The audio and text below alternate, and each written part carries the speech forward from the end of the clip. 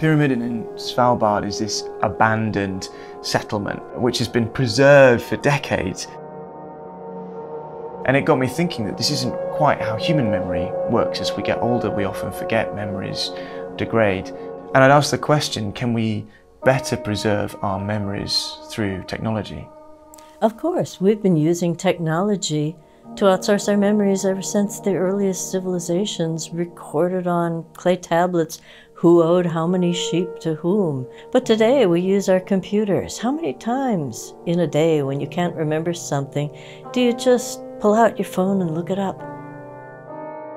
The interesting thing about that type of memory is that it, it's enduring, it's unchanging. Memory loss is often associated with old age and there are technologies that are currently being developed that can help the elderly hold on to their memories. It seems that our memories could become permanent. And this is something we certainly would like to do because our memories are fallible. They weaken over time, they change and they degrade, but that is also their advantage as well. Cognitive scientists are finding that human memory works in such a different way from computer memory, and that way has a whole lot more to do with narrative, with reconstructing the past, and by doing that, constructing our sense of self. When we remember something, we actually do not store the entire event that happened we store bits and pieces, and we store these bits and pieces in different parts of our brain. When we pull the memory back up, it's very much um, like reassembling a dinosaur once you've dug up the bones. You put together the bits and pieces, and then, like a good director, you fill in all the gaps.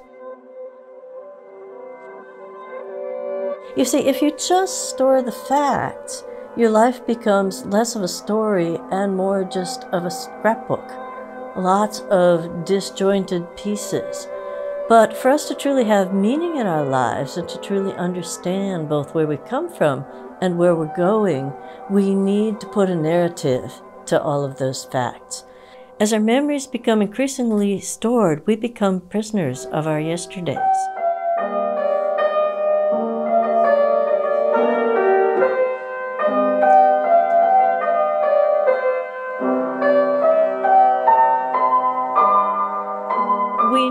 To outsource some things the details, the bits and pieces, but we can't outsource all of it. To do so would be like your deserted Russian settlement, frozen in time, but not vibrant, not alive, not moving ahead into the future.